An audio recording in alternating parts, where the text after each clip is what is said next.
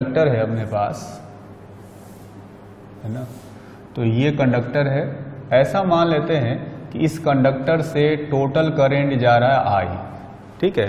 अब आई जो करंट है, वो ऐसा नहीं है कि बिल्कुल एक लाइन में फ्लो कर रहा है, बल्कि एक पूरे क्रॉस सेक्शन से फ्लो करता है। जैसे मैं कहूँ कि ये पूरा क्रॉस सेक्शन है तो इस क्रॉस सेक्शन के हर पॉइंट से चार्जेज बाहर निकल रहे होंगे, ठीक है?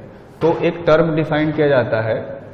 उसको हम लोग कहते हैं करेंट डेंसिटी है ना? करेंट डेंसिटी को जे से डिनोट करते हैं और ये एक वेक्टर क्वांटिटी होता है। ये कहा जाता है current flowing per unit cross sectional area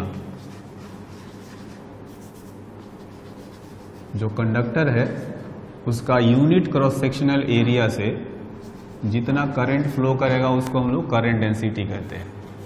यानी J को लिखा जाएगा I डिवाइडेड बाई ए अगर इसको वेक्टर फॉर्म में लिखना हो तो लिखा जाता है I is equal to J dot A current density जो है, एक वेक्टर क्वांटिटी होता है। हमें पता है कि एरिया है, वो भी वेक्टर क्वांटिटी होता है। तो करंट डेंसिटी का डायरेक्शन लिया जाता है किधर? करंट फ्लो के डायरेक्शन में। It has direction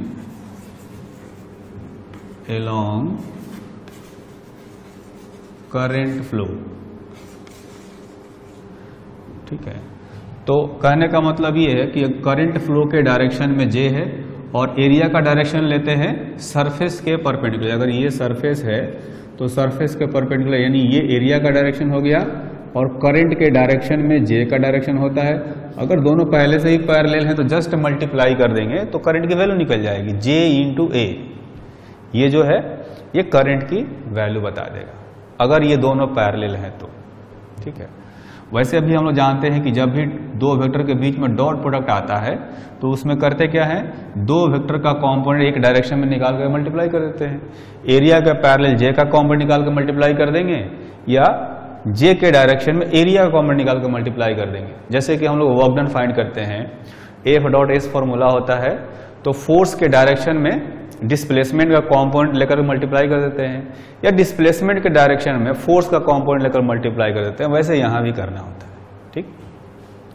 तो जैसा कि हमने यहाँ पर देखा कि जो करंट का फॉर्मूला आया था यहाँ पर, ये फॉर्मूला था, या इसको मैं लिख लेता हूँ I is equal to n e square tau divided by m e into A into E है ना? यहाँ जो फॉर्मूला है करंट का, मैं इसको दोबारा वहाँ पर लिख रहा हूँ, है ना? यहाँ पर।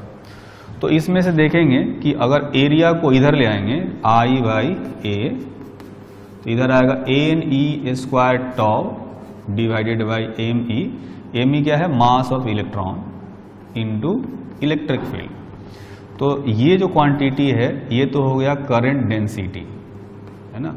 और ये एक वेक्टर क्वांटिटी है। ये देखेंगे ये जो क्वांटिटी है, ये एक्चुअली में बताएगा कंडक्टिविटी है ना? ये जो सिग्मा है, इसका वैल्यू हमने निकाला था वन बाई रो यानी कि n e square tau by m e exactly यही क्वांटिटी यहाँ पर है। तो इसको मैं ले सकता हूँ सिग्मा इंटू इलेक्ट्रिक फ़ील्ड ठीक तो करंट डेंसिटी का डायरेक्शन और इलेक्ट्रिक फ़ील्ड का डायरेक्शन एक ही डायरेक्शन में होता है। इलेक्ट्रिक फ़ील्ड के डायरेक्शन में करंट फ्लो करता है। और करंट के डायरेक्शन में करंट डेंसिटी होता है, जैसा कि मैंने यहाँ पर बताया।